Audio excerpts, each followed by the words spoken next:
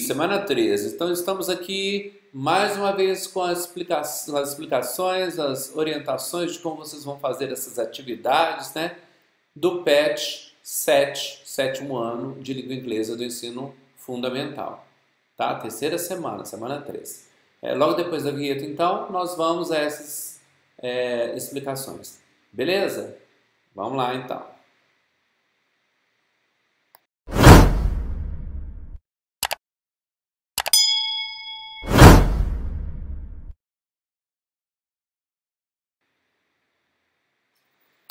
Activities.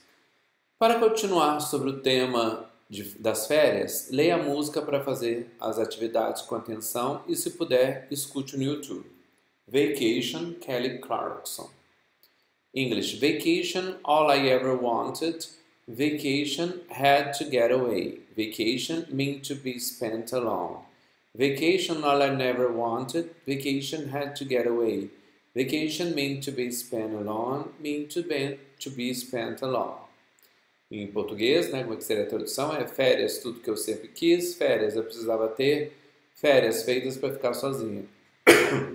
férias, tudo que eu sempre quis, férias precisava ter, férias feitas para ficar sozinha, feitas para ficar sozinho.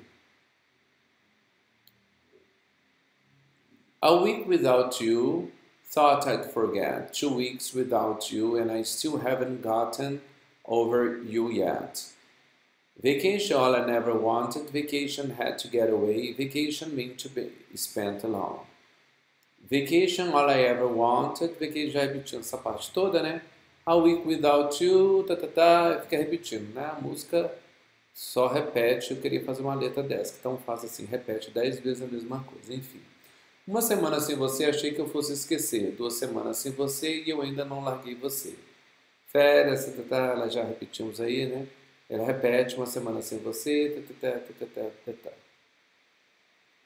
Number one, identifica a tradução de acordo com a música. O que, que é without? Né?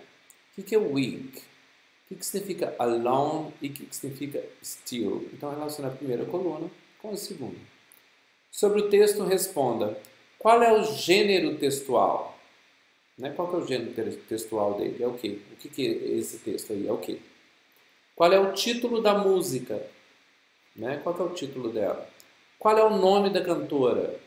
E por que a cantora quer tirar férias? Né? No texto fala que ela quer tirar férias por causa do quê? Ao ler a tradução da música, você percebe que ela quer férias para esquecer alguém.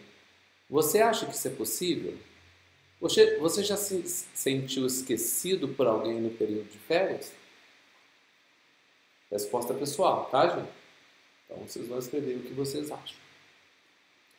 Number three. Os verbos wanted, had and spent estão no. Esses verbos aí estão o quê, gente? Eles estão no passado contínuo, estão no presente simples, estão no passado simples ou estão no presente contínuo? Vai marcar o x aí. Number four. De acordo com a explicação da semana 2, o verbo had presente na música é regular ou irregular, tá? Vamos colocar aí, regular ou irregular, tá? Number 5, como seriam as férias ideais para você? Resposta pessoal, tá, gente? Como é? Como seriam as férias ideais para você? Você poderia fazer o quê? Number 6, faça um lindo desenho de um lugar perfeito para suas férias. Tá, por exemplo, ah, eu Pensando que as férias vai ser na praia, né? Tudo bonito, tudo bonito. Vocês podem desenhar uma praia aí, etc e tal. Tá bom? Do jeito que vocês quiserem. Terminamos então aqui a correção das atividades da semana 3 do PET 7 do sétimo ano de língua inglesa do ensino fundamental.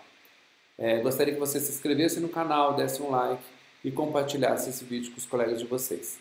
Tá bom? Então nos vemos na semana que vem, última semana do PET 7, né? Semana 4.